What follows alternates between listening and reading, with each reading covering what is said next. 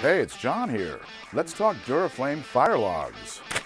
They're easy to light and they quickly add the ambiance of a real fire to your wood stove or fireplace. Although they do not provide as much heat as a traditional wood fire, they are designed to be burned one at a time with a controlled burn rate. It is not recommended to add wood to a Duraflame fire as it may change the characteristics of the burn, creating flare-ups and unnecessary smoke. If you have any questions, come in and see us. We're here to help.